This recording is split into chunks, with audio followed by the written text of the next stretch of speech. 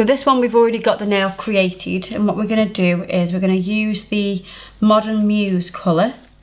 So that matches perfectly. And I'm going to do two coats of this colour.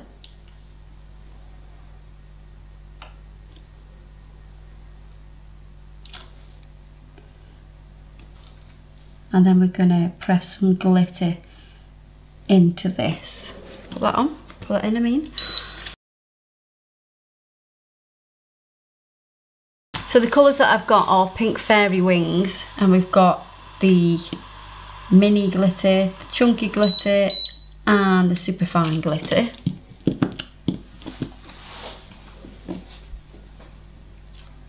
So this is your second coat of colour.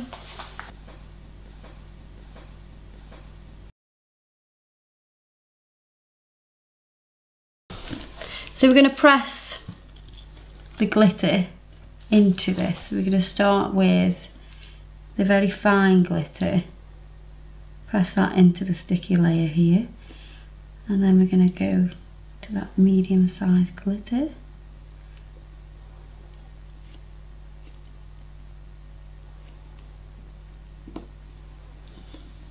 Then into the larger glitter, the chunky one. So we've got a graduated fade of sizes of glitter. I'm going to seal that in with Mega Gloss Sealer Gel. And we're going to do a couple of coats of this. Now we're going to cure that first layer.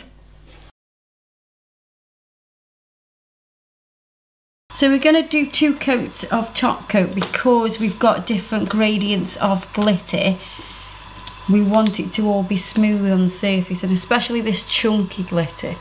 This chunky glitter will be harder to seal. So this is your second coat. So that's just an easy way to do a sparkly nail on top of a nail that's already been created. Put that into the lamp for me So you don't have to set it inside the nail like we did with the Mylar. You can do some work on top, but the Mylar is quite chunky and it does, I think it's a much better product to be encapsulated into acrylic or gel. But with the glitter, you can sit that on top of gel polish and you can put your top coat on and seal that in. So it can be changed really easily as well. So I'm going to finish that nail with some oil.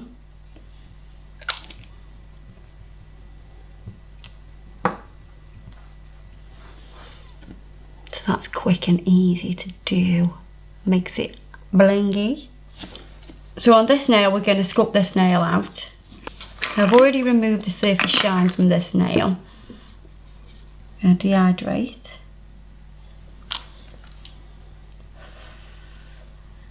Prime, two coats of primer. If you want to see a video on how to fit a sculpting form, you can here. Every time? Because uh, it's backwards on there. you can have a look here and it'll tell you. Just follow that, that thing there and it'll take you straight to it. On this one, I'm going to get the tab and use the flat side of the tab.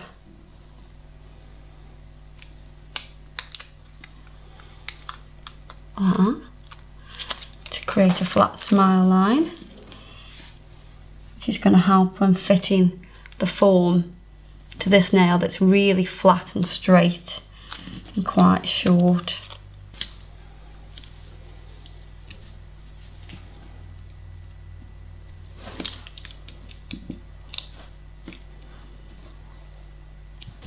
And I'm going to do a full warm beige nail.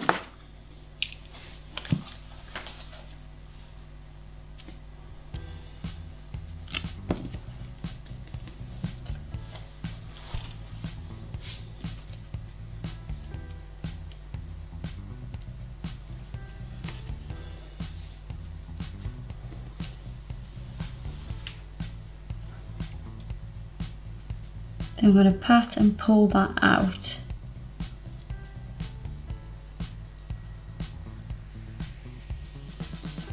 To create the length.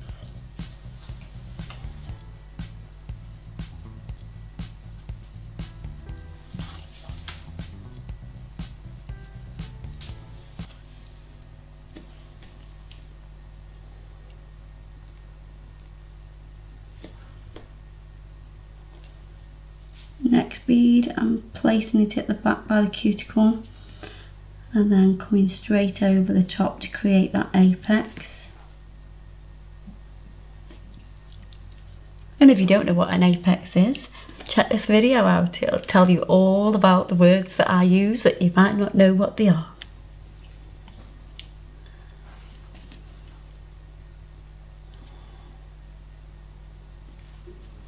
This is what's just happened. I've just been going, oh my god, why is, why is the nail look longer? It looks longer on this finger. I don't, don't get it at all.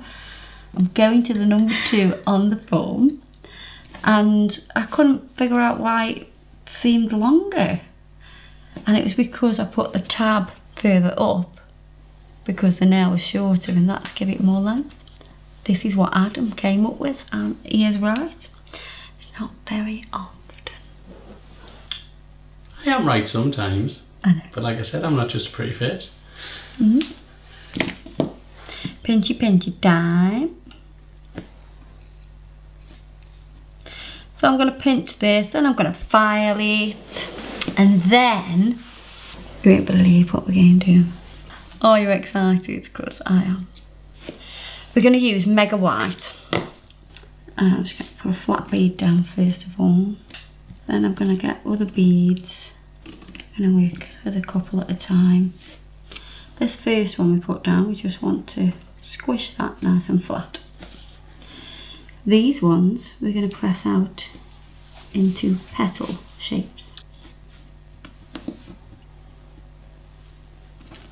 Just got to take this form off because it's ready to go. We are building, I'm building a flower that's open in the centre, completely open. I have no idea what flower this is. I'm not very good with knowing by different types. Not a horticulturist. No. Is that what it's called? Yeah. Oh, what? Somebody who's into gardening, isn't it? Yeah. Yeah, horticulture. I just know what flowers kind of look like. I don't know the names of the different types of flowers. But it's basically open in the middle so kind of like, you know sunflowers open in the middle. You know what I mean? It's got that space in the middle. That's the kind of, I'm not doing a sunflower, but it's that kind of thing. It's An open flower? Yeah, it's just got like an open bit in the middle, like a round bit in the middle.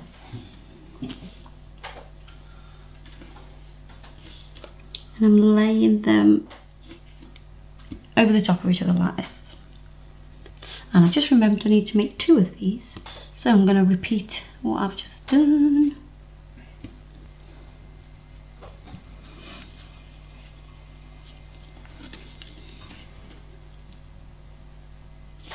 And make sure when you put it down, you put it the the side that was touching, it was touching the form, that side down so it sticks together.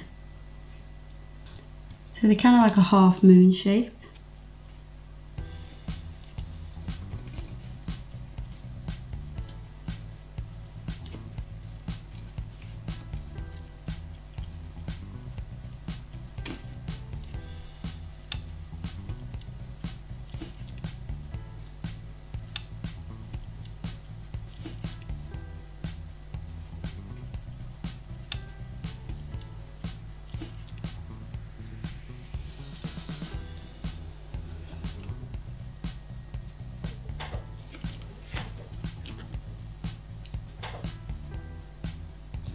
I'm going to start doing some more petals, lining them up in the production line.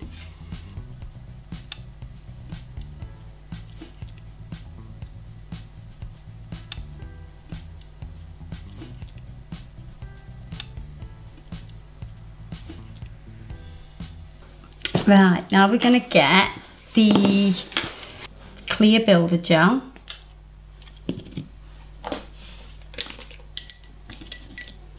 sculpting tool. Take some of the gel, pop it in the middle. Do that with both. You mean both? Both. With both. Do that with both of the flowers. So you're just pressing those little beads into the gel to give it its to give the flower its center.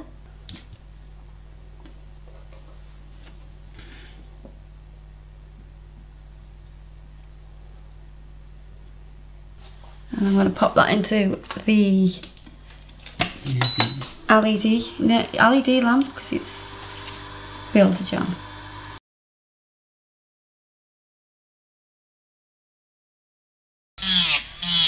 Gonna whip over with the file.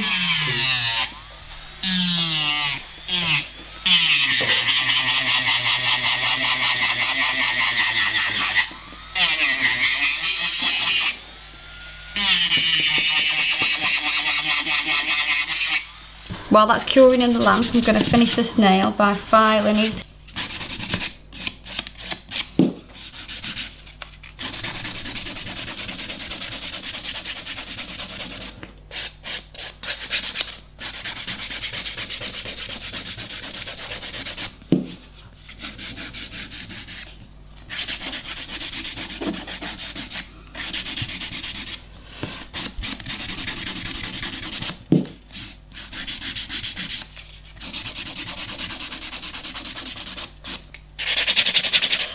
going to buff that now to smooth it over.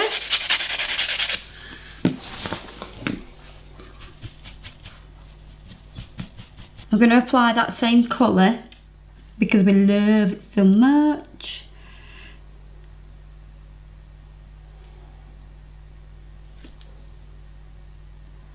And I'm going to do two coats of this. And we're going to do the same on this nail that we've previously done.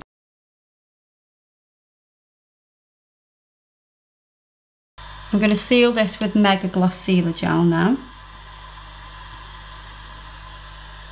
And then we can put the flower on that we've made.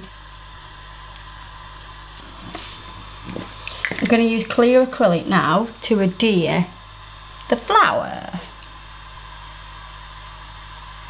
Quite a dry bead.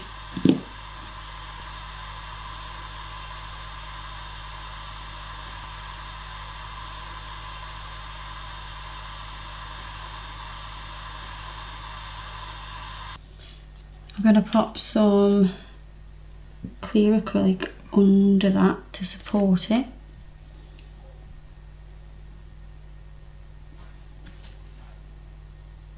And I'm going to do that on both nails.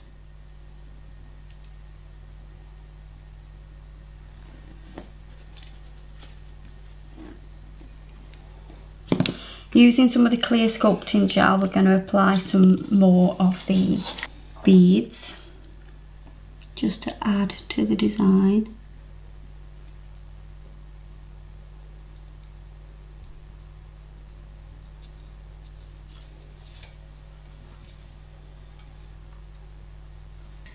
And it's shiny, whereas the acrylic isn't. I'm going to use antique rose because I've already used the rose ones in the flower.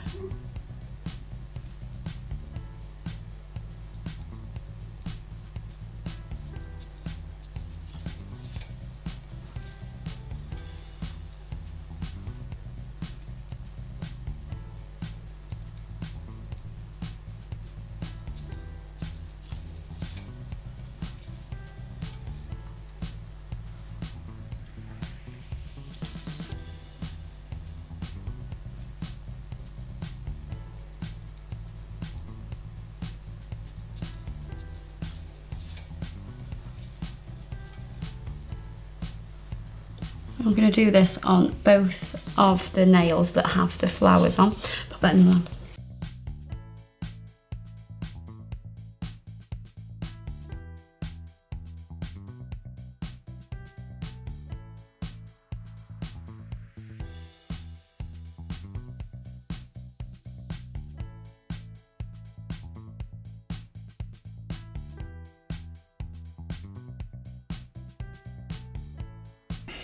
I'm just cleaning off the sticky layer with some of the gel residue soak off solution on the brush.